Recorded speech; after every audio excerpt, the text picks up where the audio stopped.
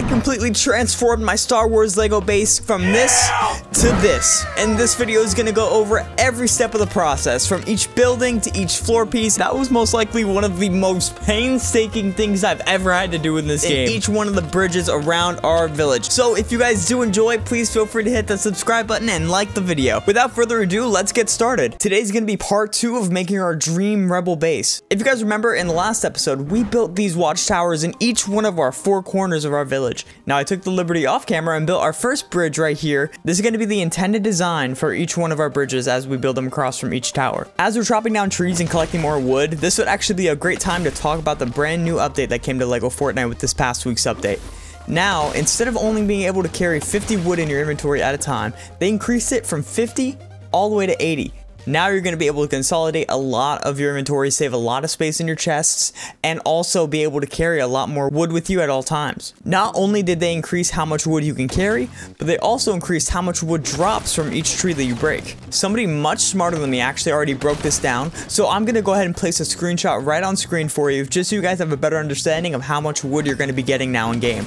You feel free to pause the video and uh, go ahead and take a screenshot, just so you guys have this little cheat sheet with you. So not only did they increase the amount of wood that you can carry in your inventory, they also increase the amount of granite. So granite got the same treatment as wood. Now instead of only holding 50 granite in your inventory, you can now hold up to 80 at one time. Alright, so since I already did the bridge on this end of the village, I'm going to be showing you guys how I ended up doing it. So it all starts by using the acres floor number 4, 8 by 8 by 1 and we're going to be extending out 2. So after we're done extending out 2, we're to actually jump down and start staggering the pieces just to make that little drop effect that we have on this other bridge. So um, we line it up perfectly and then I'm just to nudge it one over for the first one one over for the second one, and for the third one, I'm to nudge it over twice. And then after we're done with the staggering, we're just to build all the way across.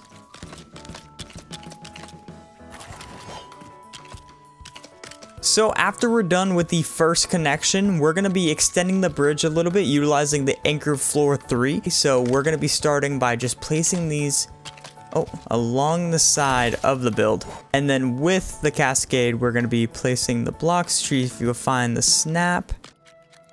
Okay, so now that we've connected the bridge and widened it a little bit, we're going to be building our fences alongside the parts of the bridge right here. So again, I'm going to be using the acre railing number three, and we're going to be putting it along the side of the bridge here. So we're to line it up, and now we're to run it alongside the rest of the bridge and just finish the connection here. And we're just gonna do a rinse repeat on the other side.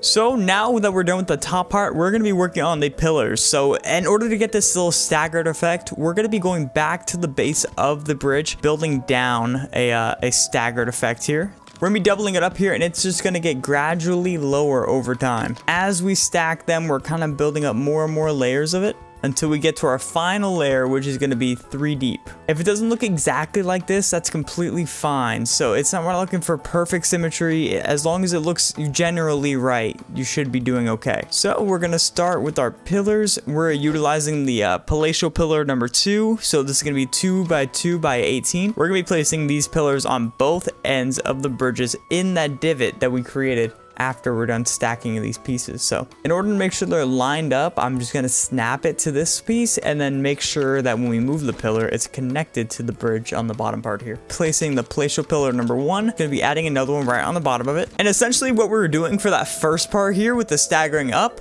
we're going to be doing the same exact thing on the other end here. We kind of wanted to cover up the pillars on the base of them. Uh, so we wanted to add in a splash of the Mos Eisley builds. And I think the best way for us to do that is going to be using the Mos Eisley corner. So do this, we want to get as close as possible to the pillar and stay in the dead middle of it. Place in each one of our pillars. So this is what it's going to look like around the entire village between each one of our towers. So with that being said, I'm just going to cue up the montage and we're able to see the finished product.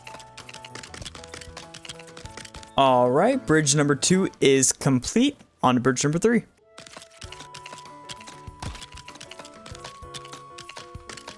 Alright, just gonna pause right here really quick. So, with our third bridge that we're building from, from our two rear towers, um, I incorporated a little bit of a staircase so we can go ahead on top of the Mos Eisley roof. And it's giving me a really fun idea. What if, what if, and hear me out, we built a ship up here on top of the tower that we can have access to at any time.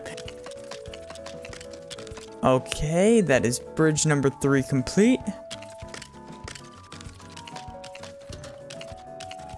Now, if you guys are enjoying the video so far, please feel free to leave a like as well as subscribe if you haven't already. About 95% of you guys that watch these videos are not subscribed, so if you guys can go ahead, it means a world of a difference for me. We're only at about 150 subscribers right now, and I'm trying to get to 1,000. So if you guys want to go ahead and support, please feel free to hit that subscribe button.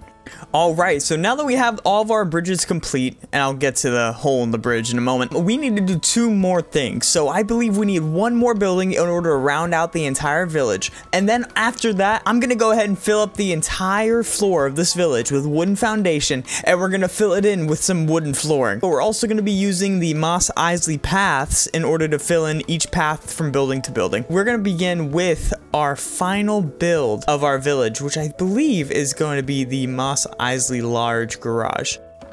Where where's bro going? Where are you going? Oh, oh yeah, and he's coming back. All right, bro's just doing laps. It's fine. All right, so I cleared out obviously a lot more than anticipated, but with this, we should be able to start making our building. Okay, perfect. Now what I want to do is I want to make sure it lines up. Okay, I think with that, it should be able to line up there. Perfect.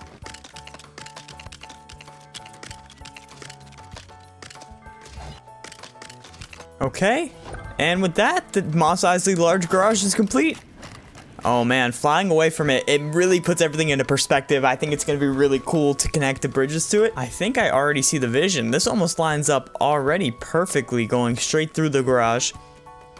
Um, and as we know, we like to take these prefabs and we like to add our own little flair to it. So uh, I'm thinking that we go ahead and add a little bit of pop of white somewhere into it. I think we can toss a, a little more wooden accents. So let's see what we can do here. Um, utilizing our same tactic that we did for our house over there for the rounded corners, we're going to be using the pillars again. And for the walls, we're just going to go ahead and get started with a basic rebel uh, insignia wall right here, place right there. Okay, perfect. It seems like we may be off by just the tiniest bit, so. All right, so after completing this little bottom portion here, I'm actually in love with how this looks. Uh, just keeping it that bottom portion really just adds a lot of character to it even that small, uh, minute change to the entire prefab kind of gives it a whole new life, and it really helps incorporate it into the builds that we have going on right here. So, and the final thing that we're gonna do in this video is, uh, gonna take a little bit of time for me. For you guys, you guys are gonna probably gonna see this happen very quickly, but as you guys probably saw at the beginning of the video, we are gonna be taking this entire floor of our village and making it all wooden flooring with also utilizing the uh, Mos Eisley paths that we unlock with our different prefabs. I mean, it all starts with just a big chunk of foundation, so let's just get started with... So, after about half an hour of placing down these uh, wooden foundations in our village, this is actually where we are going to be stopping putting down the wooden foundations. Just in order to save ourselves on the complexity error, um, this is all we're gonna need to rebuild all the flooring across the entire village. I'm not gonna bore you guys with that. Now we're gonna be going into a supercut where we're gonna be placing down every single piece of flooring that we're gonna be using for this village. 328 a.m. Um, that was probably, I'm not even gonna lie, that was most likely one of the most painstaking things I've ever had to do in this game. Borderline not fun, I'm gonna tell you right now. But, with all that done, I'm just in love with the result. Look at everything on the ground. Uh, look at the flooring just completely covered. Excuse me completely filling in the entire floor and getting ready for our next step of the build is going to be the pathways. So we're going to be making a pathway from each one of our buildings into the middle of the village right here. I'm going to spare you guys all the painstaking uh, things we're going to have to replace on the ground. So with the power of editing, I'm going to make these paths just appear. Tomorrow. All right, everyone. So we finally completed all the paths that are on our floor now. So without further ado, let me just show you what we've made so far. Alright, so uh, as you guys can see, we have a pathway from each building leading into each one. um, the flooring that we're using is going to be the color we're going with. And I'm going to complete more stuff off camera, making it a little more polished. Because as you can see, this isn't connecting right now or anything like that. But this is the general outline of what we're going to be using. Um, I'm loving how it's turning out, and uh, I have this as our aerial view over here. So this is going to be the aerial view of it. I am loving how it's turning out so far. Uh, so this is actually where we're going to call the video for today. Uh, I would say we made a fair amount of progress, so if you guys did enjoy the video, please feel free to go ahead and leave a like and subscribe. We're trying to reach 1,000 subscribers before the end of August, so if you guys are looking at the subscribe button and it doesn't say 1,000, go ahead and click on that subscribe button. It means the absolute world to me, and it helps make sure I can get these videos out more often to just keep pumping content out for you guys. Thank you guys so much for watching, and I'll catch you in the next video. Peace.